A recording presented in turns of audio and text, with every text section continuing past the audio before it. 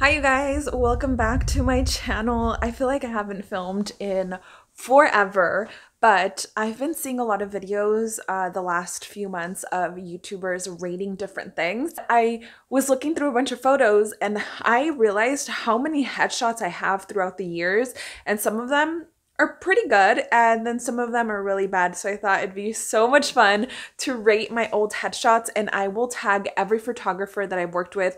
Most of my headshots i've actually gotten for free because i did something called tfp which i used to do all of the time and if you're new i would definitely recommend that except you know right now being really careful because of covid. But um yeah let's let's rate my headshots. I do want to say that a few of these that are trade, you know, TFP trade for photos, um, we didn't know what we were doing. So even though they are really talented photographers, you know, for fashion or I don't know, just different kinds of photographers, we didn't know necessarily how to make actor headshots because actor headshots are very specific. Um, there's a lot of things that go into a good headshot, but I'm just going to rate the ones that I have. No disrespect or anything to the photographers that I worked with because at the time I like these photos. And throughout the video, I'm going to tell you why I do like them and just little things in case you are an actor, an aspiring actor, or never really know which photos to choose when you get headshots done. Uh, I'm gonna tell you like my thought process as to why I do like these or I don't like them, years that I did this, and then who I um, went with. So I'm gonna tell you which ones I actually paid for and then which ones I collaborated with and just tell you a little bit in general about these headshots. By the way, my name is Belgica. If you've never been to my channel, I'm an actress and I make acting related videos all of the time, all kinds of videos. So if you have any questions about acting that I might be able to answer, I also have lots of videos. And if I don't know something um, that you ask me, then we can investigate it together and I can make a video about it. So leave me a comment, tell me you're here and subscribe if you want to. So my tiers are at the top, I put booked, even though it looks like the roar should be at the top because it's red. I don't know. I put booked like I know I booked a job with that callback. I might have gotten a callback for it. Um, it looks like me, just a photo that at least looks like me. So good job on putting it on my casting networks accounts. Um, social media post is like it should have just been a social media post. It should not have been used as a headshot. And then don't submit means just don't, don't don't put it anywhere. Don't submit it to an audition. Don't put it on social media. Just delete it. All these photographers are talented. I love them. Some of these are from years and years ago, so they might have gotten so much better. Everybody has a different style of photography that they like, so this is just my opinions. I everybody that I've worked with, I have liked working with them and I have a relationship still with most, most of these people. And also most of these headshots were taken by different people so i tried to not get duplicates as far as the photographers so the first one this one I this one I know was for sure a trade for photo. I remember doing a photo shoot. Um, we actually worked with a stylist that time and we were taking photos for the stylist website but also for the photographer's portfolio so they weren't at all meant to be headshots. I just made it a headshot by putting it on my backstage casting and at the time SF um, casting. And I would say maybe I got a callback. It's a little distracting in general and the background, the bricks are very much fake and it's, it's just too distracting. I would not use this today. My skin looks perfect and I don't like to look perfect in my headshots. I like to look as much as uh, like I do in real life, like I do when they see me in person. Um, so they're booking, you know, the right person, the person that looks like the photo. So this one, I just look a little too perfect as far as my skin, and you know, general. I I, I don't think I should have used it for my um, actor headshots, but I did, and I'm pretty sure I got some kind of callback from it. This next one is from a photographer that I have worked with a lot of times. Miss Justin and I've known him for a long time. Um, and this one, I my hair is a little bit messy. The you know the lighting isn't as great. I know we were doing an outdoor shoot and the necklace is a little distracting so i wouldn't have used that necklace. But again i'm sure i got a call back from it because i definitely had this picture on my casting networks account for a while. So it's an okay photo. It looks like me. It's not perfect at all. So i would say maybe call back This other one I love, even though it's really distracting. I'm going to put it in booked. Um, this one is from Lorenz. He's another friend of mine that's been friends for years and years, and I know him because of theater in the Bay Area. And that picture is just, it just, it's a nice smile. It shows action, personality. It's at Blue Bottle, which Blue Bottle is one of my favorite chain coffee shops. But that one is just, it has a nice energy to it, a genuine smile. And this one, I know for sure I booked something off of it because I had that one for the longest time on my websites, my casting websites. And um, I, I just really like the energy of that one. Even though it's not a traditional headshot, um, I'm sure I booked some kind of commercial. This one is recent. This one, um, oh yeah, that uh, last one was probably from 2018. And this one is from 2020, July 2020. This one is super recent and uh, well, I mean, not super recent. It's now January of 2021. It's the most recent one that I have. It's the one that I look like the most, although I did get new glasses. So I still own those glasses, but it's not the ones that I wear all of the time. This one isn't over edited. I think it looks like me. It's the same length hair I have now. Um, I'm wearing my favorite fabric, which is denim, so booked. I currently have this photo and all of my headshot truck photos on all of my casting websites and they're great and I use them for bookings and my agents use them for bookings. So I love that headshot. This next one was probably from 2017 or 18. I'm to put it on callback, even though it's I don't love the facial expression and it looks okay if somebody was booking me for something maybe a little bit more dramatic or detective-esque. That world of you know, not commercial. Um, it's an okay headshot. The photographer is a great photographer. His name is Robert Silver.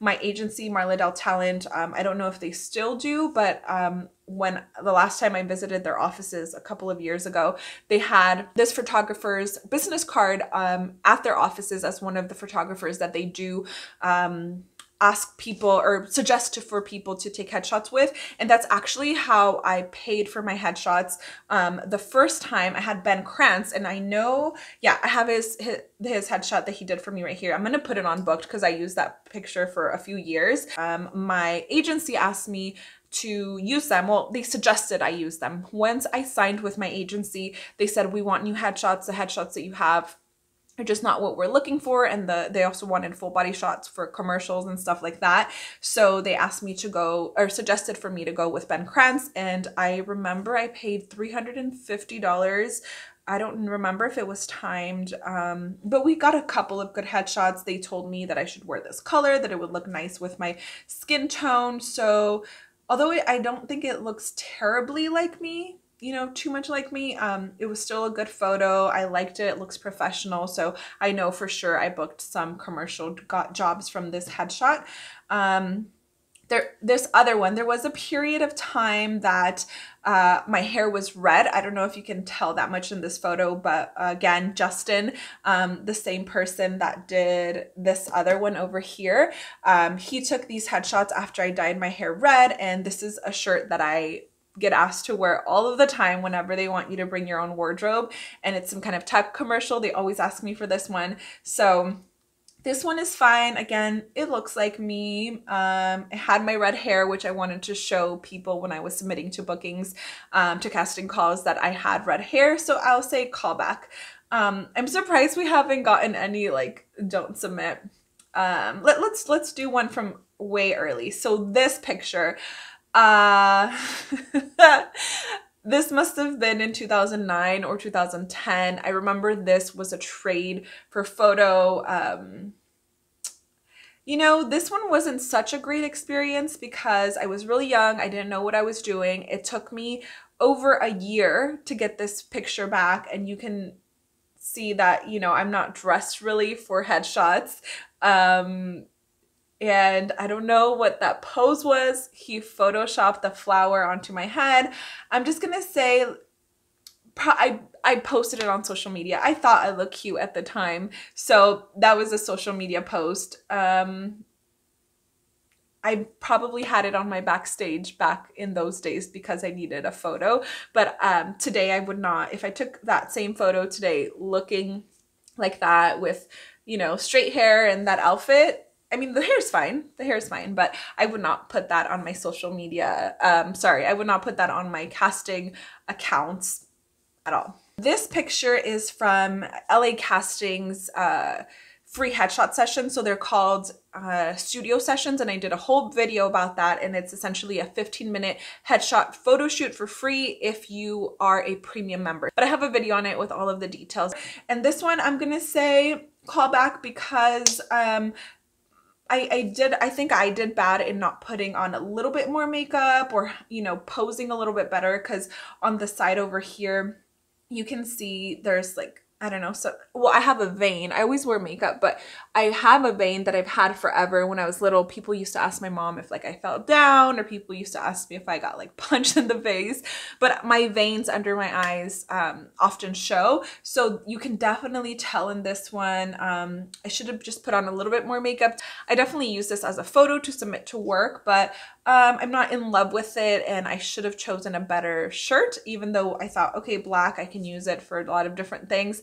Um, in retrospect, maybe I shouldn't have used black because it's not, it's not as fun and yeah, I just, I'm okay about it. At, when I first got them, I was very excited about the headshots. Now it's, you know, it's like meh.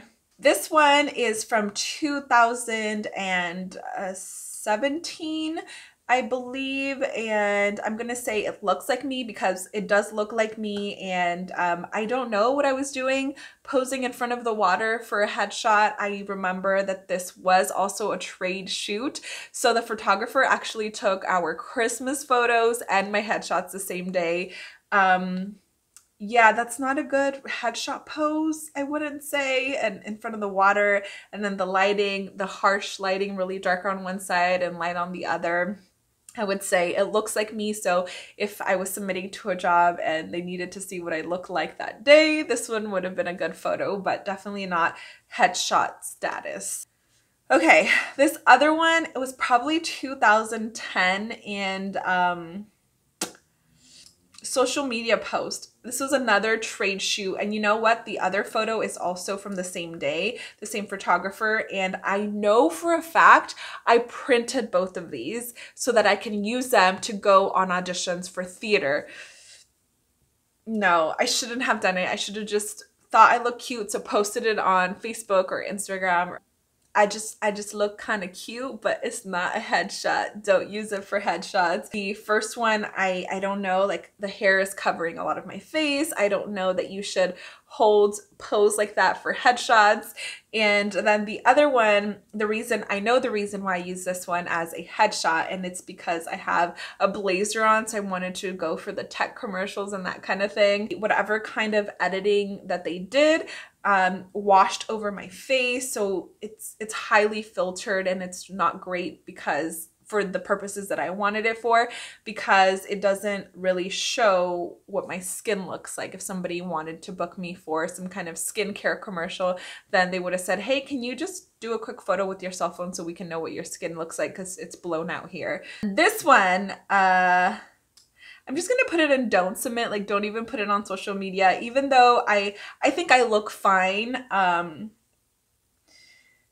it looks highly edited. Uh, it's black and white, first of all, so definitely not. Your headshot should not be black and white. It doesn't really look like me. Maybe it did at the time. I definitely have some baby fat back then, and I feel like I have a little bit right now too. Uh, I would just say just don't just don't do it. Don't put it on social media and advertise this as your headshot or anything.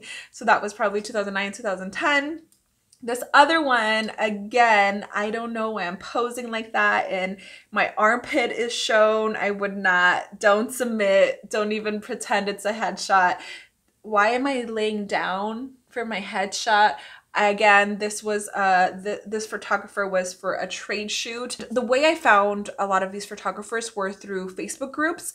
So there are Facebook groups for photographers slash models slash actors, filmmakers, just there's all kinds of um, groups on Facebook and you can meet different people there. And I have met some really cool, really talented people that I'm still friends with today. But um, there's also some, you know, maybe one day I'll tell you some of my creepy stories. Thankfully, I've only had like two or three, um, one really bad one. But um, yeah, but this this was for a trade shoot and it, it was like hey i need to practice my photography skills. And then i was like cool i need headshots. We can get some photos of you know fashion or whatever kind of photography that you are interested in. If you want it to be like action or modeling or whatever it is and then we can take some time to take some headshots.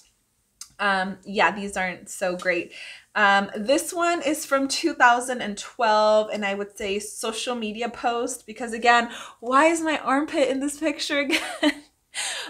Generally, I would say don't have your armpit in your headshots. Uh, this one was taken in Oakland. I remember in Lake Merritt, there's a bonsai rose garden, something like that. And um, we went and took a bunch of photos and we took some good photos this day. This was 2012. This was a trade shoot again with a female photographer and we took some cool photos that day. It's just I shouldn't have used this as a uh, submitting. So all of these photos at one point or another I submitted to something with. This one I, I wish I could have seen the face of the person who received it as an acting submission. this one is Lorenz, um, I'm gonna say booked. So this one is the same as the first one. Um, my friend Lorenz from theater. Actually, it was the same day. Yeah, this is one of the ones that was doubled. I think I look fine and it looks like me and it doesn't look over edited or too perfect. Maybe I cropped it a little bit when I um, printed it to take to auditions back then in 2000. That one was probably 2017 or 18. Well, here are a couple from my red hair days. So I remember that spring, I want to say it was spring or summer time where I actually did a hair show. So they paid me around $300 for I think it was two days. They're like, we can do whatever we want to your hair. And then you were allowed to give them a little bit of feedback. Like, I won't go, I won't have a buzz cut. And I told them I'm willing to go to for natural colors, like naturally existing in humans, like reds, browns, blonde, black, that kind of thing. And I told them I'd be willing to do up to a long bob. So um, that's exactly what they did. They dyed my hair red and then they, uh, they cut it. Um, this one I'm gonna put in callback. Um, it, this one my friend George took of me. He's a great photographer. I have a lot of really cool um, photos that he took of me and model-esque photos of me a couple of years ago. I've done a film with him, a short film. It was for his uh, senior project in San Francisco. And um, yeah, I posted about it not too long ago in November. So he's super talented. Um, yeah, that one is an okay photo. It shows that my hair is red, so I probably got a call back from posting it. This one is from Shane Izykowski and he's a great friend of mine. He's taken a few of my headshots. This one I really liked. I definitely printed it out. I definitely put it on all my um, submission websites and it showed my hair. Um, it doesn't show me, you know, my skin too perfect. I don't think he edited it too much other than, um, you know, the basic colors and tones and brightness and that kind of thing. But I most likely booked something from it because, you know, shows a little bit of expression. It looks like me. And again, I'm wearing denim. I love, oh my gosh, I'm wearing denim in so many of these. um, oh, whoops. Okay, here's the other one that I doubled. Definitely booked something from it. Um, this was the same day in a different location. We're walking around San Francisco near Dolores Park. Um, this last one, um, I'm gonna put in don't submit. Again, it was when I just had my hair red and that the waviness of my hair was natural. This day, I remember my friend Jasmine had gotten the newest iPhone at the time. This must have been 2017 or 18, whatever year I dyed my hair red. Um, she got a new camera, so we were taking so many photos. This this was when you can select portrait on your iPhone so that you could take like a portrait and then the background would blur out a little bit. But I was st standing like in front of uh, a wall so you can't even tell. Anyways, we were taking photos of each other. I took some really good headshots for her that time outside and I was like, oh my God, you have to take some of me. And I would say don't submit it. Like you think you look cute, but don't even put it on social media because no. The sad thing is that I definitely, I definitely remember printing this headshot to use for auditions.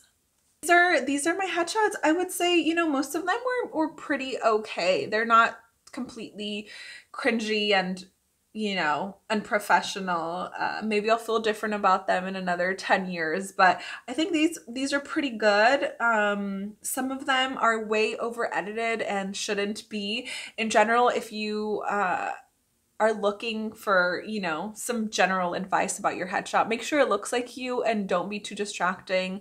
You know, don't wear too much makeup. Just look like you, look like you would walk into your audition because when people are seeing your headshot, they want to see you. They want to see what you look like. And if you can put a little bit of your personality in there, that's fine too. But don't get too crazy, like props and stuff. Tell me what you guys thought about my headshots and if you would have booked me for if I sent you any of these. Um, yeah, that was fun looking through all of those headshots. And I have so, okay, I have so many more. It's just that I have had laptops and different computers since I started acting to today. And I asked my mom if she can send me some from high school because I know I have some from high school, but um, she wasn't able to send them by the time I started filming this. So maybe I will show them in the future. and I hope that to go back to the headshot truck soon so I can get updated headshots with my new glasses and then just in general updated headshots because the last ones I took were in July. So I like to keep up with my headshots and keep updating them. And I did make a video with them about them um, a couple of months ago or oh my god, in July.